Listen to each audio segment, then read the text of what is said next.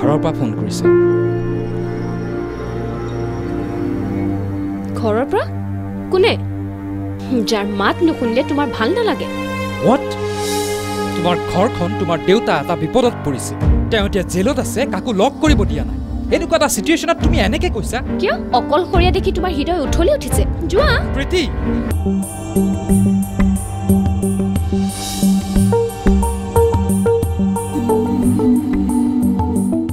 তুমিয়ে বোধ কৰোঁ ৰেখা কথাটো টিভিত শুনিলো। বেয়া লাগিল ভাল মানুহ বুলি ভাবিছিলো। প্লিজ প্লিজ ধৈৰ্য ধৰাচোন। প্লিজ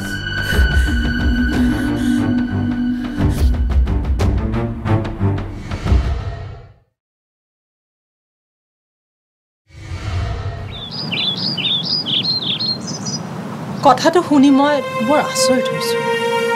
আচৰিতটো ময়ো হৈছোঁ। টিভিত যেতিয়া নিউজটো পাইছোঁ। কিন্তু মই আন এটা কথাতহে বেছি আচৰিত হৈছোঁ। কি কথা? তেওঁ এনেকুৱা এটা কথাত ধৰা পৰিছে যিটোৰ সঁচা মিছা মই নাজানো। কিন্তু তেওঁ তোমাৰ দেউতা তুমি কথাটো কেনেদৰে ভাবিছা? আপুনি কথাটো বুজা নাই মা। মই সঁচাকৈয়ে বুজা নাই। দেউতাকৰ এনেকুৱা এটা খবৰ শুনি পুতেকে এনেদৰে বহি থাকিব পাৰেনে? ঘটনাটোৰ বাবে লাজ ময়ো পাইছোঁ। কষ্ট মোৰো হৈছে। কিন্তু তেওঁ এক প্ৰকাৰে মইতো মৰি গ'লো বুলিয়ে ধৰি লৈছে।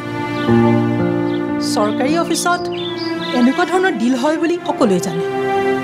কিন্তু তেওঁহে ধৰা পৰিল কিয়? আৰু মই জনাত তোমালোকৰ ঘৰখন এনেকুৱাও নহয় যে তেওঁৰ আগৰে পৰা এনেকুৱা ধৰণৰ কিবা লেনদেন কৰাৰ বদনাম আছে। মানুহৰ জীৱনত কেতিয়া ক'ত কাৰ কি হৈ যায় কোনেও ক'ব নোৱাৰে মা। তোমাৰ মুখৰ পৰাই তোমালোকৰ ঘৰখনৰ অভাৱৰ কথা শুনিছিলোঁ। তাৰ পৰা মানুহজন এইটো পৰ্যায়লৈ আহিব পাৰে? সেই কথা ভাবিব নোৱাৰি। হেল্ল'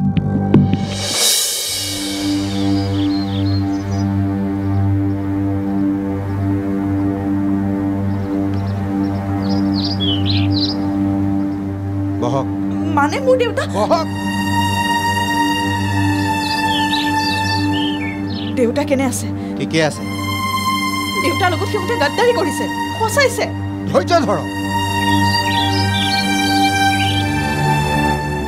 আইনক প্ৰমাণ লাগে আপুনি বিশ্বাস কৰক দেউতাই জীৱনত কেতিয়াও সকলো বুজিছো কিন্তু এতিয়া চিধা আঙুলিৰে ঘিউ উলিয়াব পৰা হৈ থকা এতিয়া মই কি কৰোঁ দেউতা আদৰ্শত থকা মানুহ কাৰো ওচৰত সেও নবনা মানুহ। মহাত্মা গান্ধীও জেলত গৈছিল আপুনি নিজকে অলপ কণ্ট্ৰল কৰক।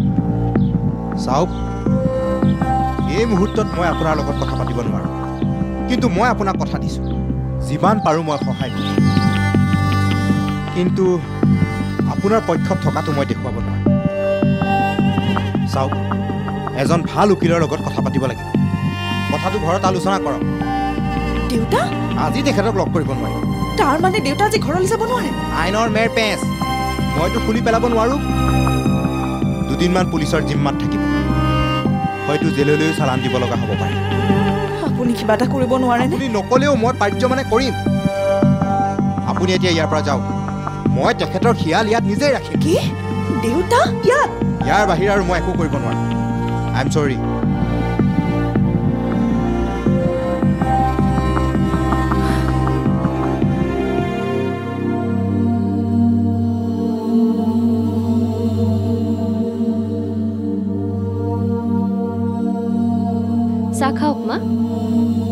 মই চাহ ঠিক আছে। ৰবা। কওক।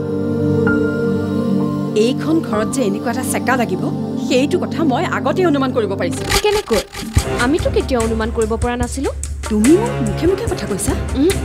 আপোনাৰ সৈতে মই কেতিয়াও তৰ্ক কৰিব নিবিচাৰোঁ। কাৰণ আপুনি প্ৰকাশৰ মা। মই মাত্ৰ মনলৈ অহা কথাটোহে সুধিছোঁ। দেউতাৰ এনেকুৱা কিবা হ'ব বুলি মই কেতিয়াও ভবা নাছিলোঁ। আপুনি কেনেকৈ ভাবিলে? সেইখন ঘৰৰ ধৰণ কৰণ দেখিয়েই ধৰিব পাৰিছিলোঁ। যে সেইখন ঘৰৰ লগত সম্পৰ্ক কৰিলে আমাৰ ঘৰখনত অশান্তি হ'ব। অথচ সেইখন ঘৰৰ সৈতে আপোনালোকে ৰিং চেৰেমনি পাতি সম্পৰ্ক স্থাপন কৰিছিল। মোক চম্ভালি কথা ক'বা। তেতিয়া আমি সেইবোৰ কথা জনা নাছিলোঁ। তাৰ ওপৰত বিশ্বাস কৰিছিলোঁ। আৰু তেওঁ মোৰ ওপৰত বিশ্বাস কৰিছিল। সেইবাবে ময়ো তেওঁৰ ওপৰত বিশ্বাস ৰাখিছোঁ।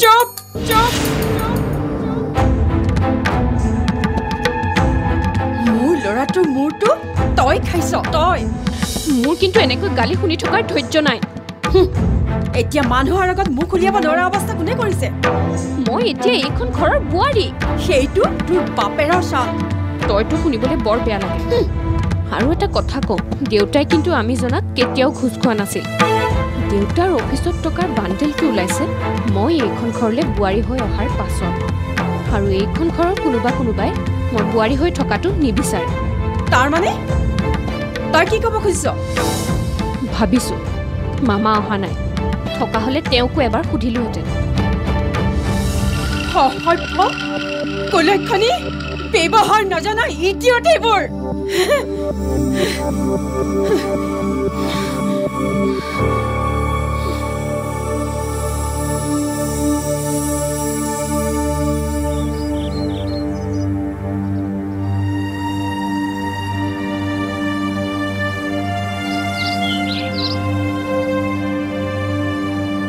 কাক বিচাৰিছিল?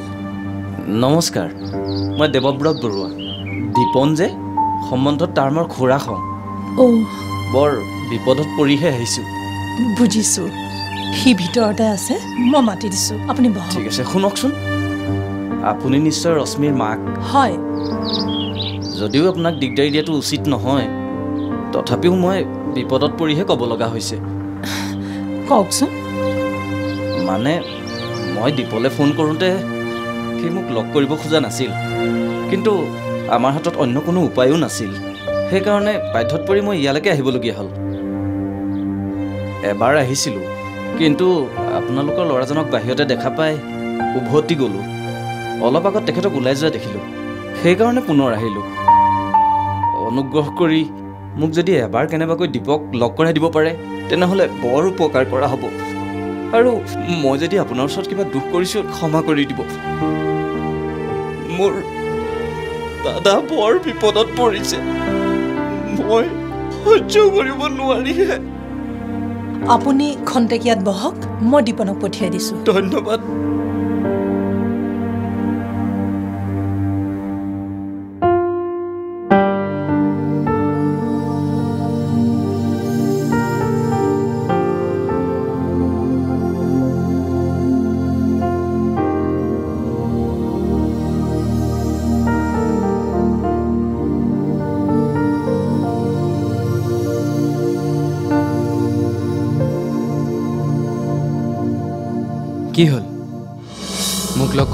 দিছিল নে নাই?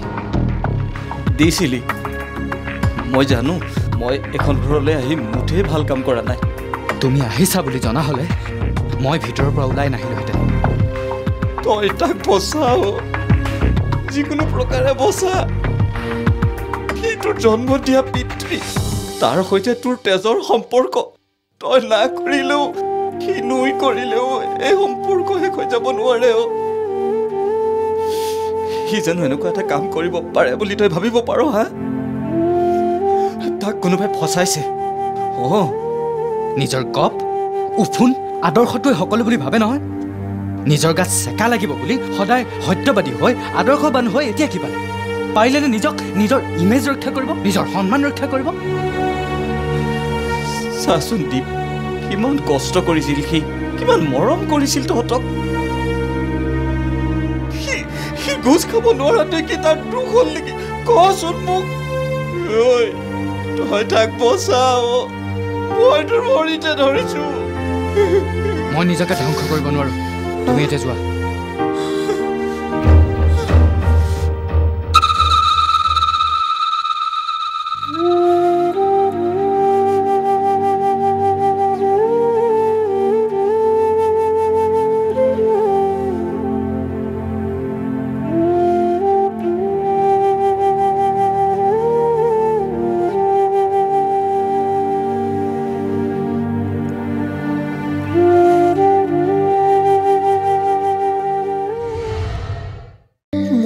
আমাৰ লাইফৰ পামচাৰ হ'ল বুলি ভাবিছে নেকি? নে সেই বুলি ভাবি হেল্প কৰিবলৈ আহিছে? প্লিজ মোৰ কণ্ডিশ্যনটো আন কোনেও বুজিব নোৱাৰিব। মই জানো মই হয়তো ভুল কৰিছোঁ। এইবোৰ এইখন ঘৰত হৈছে কি দাদা? অহ কথাটো তাৰমানে তয়ো শুনিলি। মই কি সকলোৱে শুনিছে? বিশ্বাস কৰিব পাৰিছ জানো? একদম পৰা নাই। তেনেহ'লে আৰু এটাও কথা নকবি। মাথাটো একেবাৰে বেয়া হৈ আছে। আবেলিৰ ৰামধেনু। Co powered by Anmol dream lite মাখনেৰে ভৰা নিমখীয়া সোৱাদ। আগবঢ়াইছে চেভলন এণ্টিছেপ্টিক লিকুইড চকী or nothing Airtel India's first open network Amul the taste of India TVS Apache R T R আৰু গডৰেজ এক্সপাৰ্ট অৰিজিনেল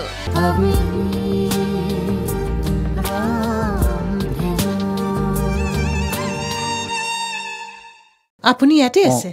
বৰুৱাৰ কিবা খবৰ পাইছানে? থানাতে আছে। কাকো বোলে লগ ধৰিবলৈ দিয়া নাই। ৰেখাও অহা নাই নহয়। আহি পোৱাহি নাই। মোৰ যে বৰুৱানীজনীলৈ ইমান বেয়া লাগিছে তেখেতে আকৌ প্ৰথমে কথাটো জনাই নাছিল নহয়। কথাটো শুনিয়ে তেখেত মূৰ ঘূৰাই পৰি গ'ল। পিছত মূৰত তেল পানী দিয়াতহে সুস্থ হৈছে। ইমান যে কান্দিছে। এৰা বৰ বেয়া লাগিছে দেই এই প্ৰকাশটোৰো কোনো খবৰ নাই নহয়। তাকেই জানে মই ভাবি আচৰিতে হৈছো। আচলতে সিহঁতৰ ঘৰখনে বৰুৱাৰ এই কণ্ডিশ্যনটোৰ কাৰণে বোধকৰো লাজ পাইছে। সেইকাৰণেই নাহিল অথনি তিনিআলিলৈ ওলাই যাওঁতে তাতো মানুহবোৰৰ মুখে মুখে সেই একেটা কথা। মোৰ চিনাকি দুজনমানেতো মোক সুধিলেই। মই অৱশ্যে কৈছো যে মানুহজন তেনেকুৱা নহয়। ক'ত বিশ্বাস কৰিব মোৰ কথা? হেৰি মানুহক আলোচনা কৰিবলৈ বিষয় এটা লাগেহে আৰু? তাতে টিভিত নিউজটো অনবৰতে বাজিয়ে আছে নহয়। বেচেৰা। কেতিয়াবা নিৰ্দোষী মানুহ এটা কেনেকৈ যে ফচি যায় নহয়। হেৰা পুতেকো নাহিল সৰু জীয়েকজনীও নাহিল। মই ঠিক কথাটো ধৰিবই পৰা নাই হে। মোৰ মতে দীপন আৰু প্ৰীতি উপযুক্ত সন্তান হ'বই নোৱাৰে। আৰে কথাটো সঁচাই হওক বা মিছাই হওক সিহঁতৰ প্ৰথম দায়িত্ব কি আছিল কওকচোন? এতিয়া বেচেৰী ৰেখাজনীয়ে অকলে অকলে সকলোবোৰ কৰি ফুৰিছে।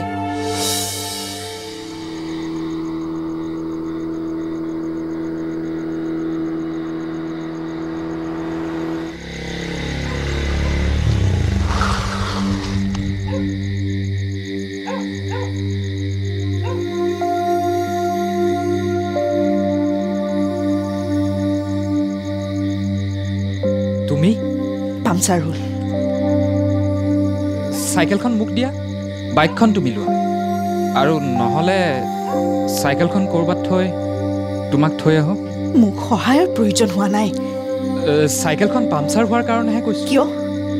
মোৰ বা আমাৰ লাইফৰ পামচাৰ হ'ল বুলি ভাবিছে নেকি? নে সেই বুলি ভাবি হেল্প কৰিবলৈ আহিছে? প্লিজ মোৰ কণ্ডিশ্যনটো আন কোনেও বুজিব নোৱাৰিব। মই জানো মই হয়তো ভুল কৰিছোঁ। এতিয়া মোৰ ইয়াত কাৰো ফাল্টু লেকচাৰ শুনাৰ ধৈৰ্য নাই। দেউতা লখাপত আছে আৰু মা। ঘৰত পৰি আছে।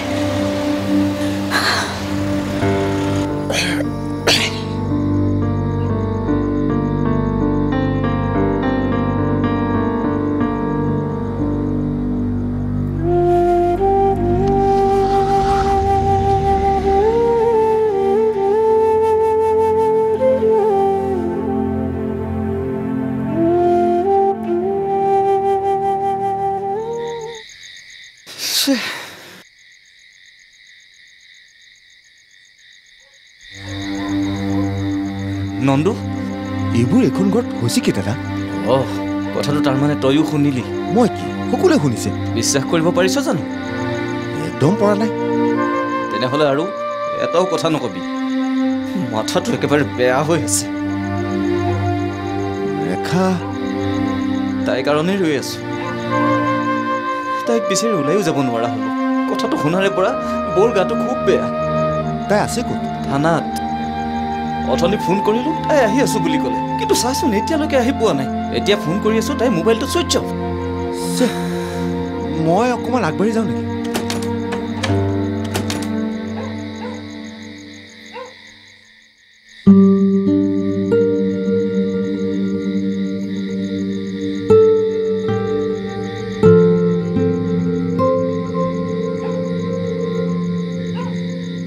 ৰেখা? এতিয়া সেইবোৰ কথাকে চিন্তা কৰি থাকিব নালাগে। তই মুখ হাতবোৰ ধুই লগে যা মা ক'ত? আছে। বিচনাতে পৰি আছে। তেতিয়াৰ পৰা কান্দিয়ে আছে।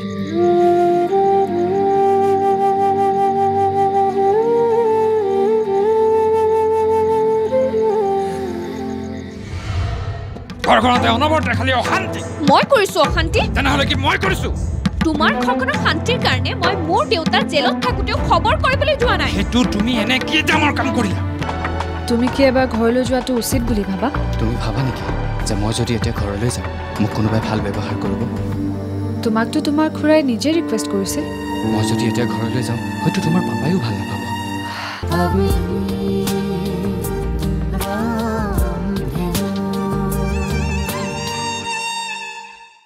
অহা পহিলা অক্টোবৰ ৰং চেনেলৰ সপ্তম বৰ্ষপূৰ্তি অনুষ্ঠান। আৰু সেইদিনা আমি থাকিম এক বেলেগ ৰূপত। গতিকে চাবলৈ নাপাহৰিব আপোনালোকৰ প্ৰিয় চেনেল ৰং চেনেল।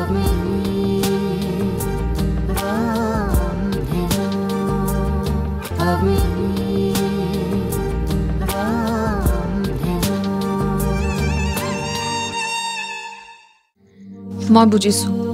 তোমাৰ মনটো খুব বেয়া হৈ আছে। লাইফত উইদাউট টেনশ্যন মই একো এটা কামেই কৰা নাই।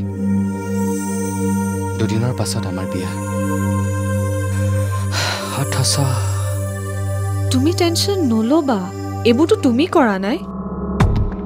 কিন্তু মানুহেতো মোকে আঙুলি টুৱাব দীপন আহা চাহ খোৱাহি আহি চোৱাচোন মামা এওঁ ইমান আপছেট হৈ আছে। তোমালোকৰ কথা নাজানো। কিন্তু কথাটো শুনাৰে পৰা মোৰো ভাল লাগি থকা নাই। তুমিও তেনেকৈ কৈছা। তেখেতে দুখ কৰিছেনে নাই মই নাজানো। কিন্তু মই ভাবিছোঁ দীপনৰ দেউতাক এতিয়া লকআপত আছে। তাৰমানে? এওঁতো সেইখন ঘৰ এৰি আহিছে। এতিয়া সেইখন ঘৰত কোনোবাই দুখ কৰিলে এওঁ দায়িত্ব ল'ব কিয়? দীপন য'তেই নাথাকক কিয়? তেখেত দীপনৰ দেউতাক এওঁৰ টেনশ্যন নোহোৱা হ'লেহে মই আচৰিত হ'লোহেঁতেন আহা এতিয়া চাহকাপ খাই লোৱা তুমি কি এবাৰ ঘৰলৈ যোৱাটো উচিত বুলি ভাবা? তুমি ভাবা নেকি যে মই যদি এতিয়া ঘৰলৈ যাওঁ মোক কোনোবাই ভাল ব্যৱহাৰ কৰিব? তোমাকতো তোমাৰ খুৰাই নিজে ৰিকুৱেষ্ট কৰিছিল। মই যদি এতিয়া ঘৰলৈ যাওঁ হয়তো তোমাৰ পাপায়ো ভাল নাপাব। মই পাপাৰ লগত কথা পাতিম আৰু। কি যে কৰোঁ জানো? মই একো ভাবিয়ে পোৱা নাই। ৰিলেক্স চব ঠিক হ'ব। ব'লা।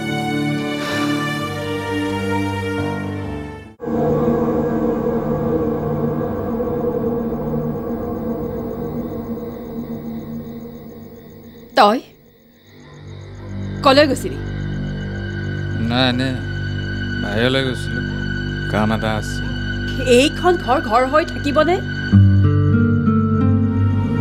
মই আগতেই কৈছিলো এইখন ঘৰ যে ধ্বংস হৈ যাব তাত অকণো সন্দেহ নাই প্লিজ মোৰতো আকৌ গৰম কৰি নল'বা এইবোৰ চব মোৰ কথা নুশুনাৰ ফল কোনো মাকে নিজৰ সন্তানৰ বেয়াটো কামনা নকৰে মোৰ একো হোৱা নাই বুজিবলৈ একো বাকী নাই কি হ'ল?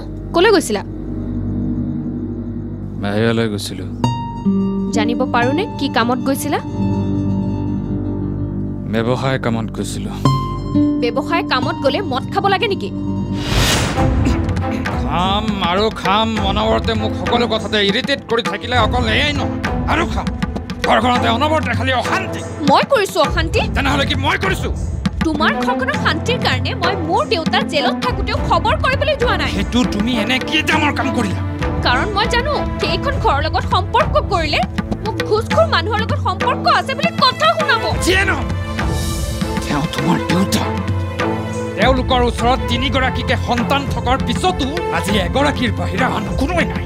অ' তোমাৰ দেউতালৈ দুখ বা পুতৌ লগা নাই?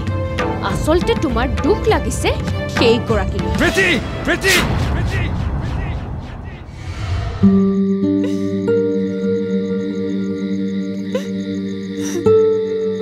মা ইমান চিন্তা কৰি নাথাকিবা ৰ'বাচোন। মই কিবা এটা কৰিম। কিনো কৰিবি তই অ'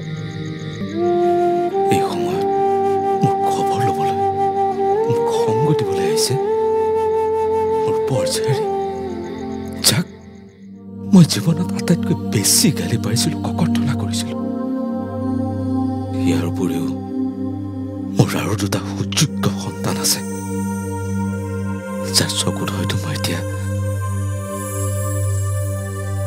তাকি অপৰাধী